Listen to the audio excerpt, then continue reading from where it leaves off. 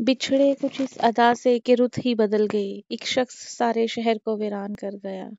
इन्ना लिल्लाहि व इन्ना इलैहि राजिऊन। हम यकीनन अल्लाह ही के हैं और हम यकीनन इसी की तरफ़ लौट कर जाने वाले हैं।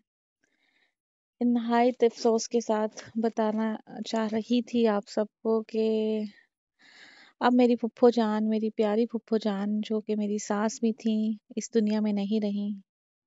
अल्लाह ताला उनकी माफ़रत फ़रमाए, अल्लाह ताला उनको कब्र के अज़ाब से बचाए, उनके हिसाब के हिसाब किताब में आसानी पैदा करे, अल्लाह ताला उनके लिए बरज़ख का सफ़र आसान करे, अल्लाह ताला उनकी कब्र में जन्नत की खिड़की खोले, उनकी औलाद को उनके लिए सदका जारिया बनाए। ये देखें, मेरी पप्पो जान का नमाज़ जनाजा पढ़ाया जा रहा है। अल्लाह ताला से इल्तिजा है कि मेरे मालिक तुझे तेरे हबीब का सदका है, मेरे पप्पो के।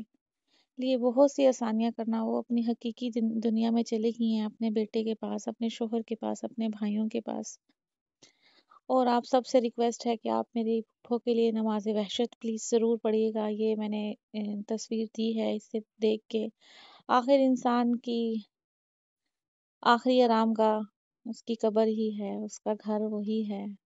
हकीकी ज़िंदगी में वो चली गई हैं, हम आरसी ज़िंदगी में हैं। अल्लाह ताला हमें भी अच्छे अच्छे अमाल करने की तोफ़ीक दे। सो आप सबसे रिक्वेस्ट है कि प्लीज़ सूरत फातिहा और सूरह यासीन पढ़िएगा और नमाज़ वहशत ज़रूर पढ़िएगा।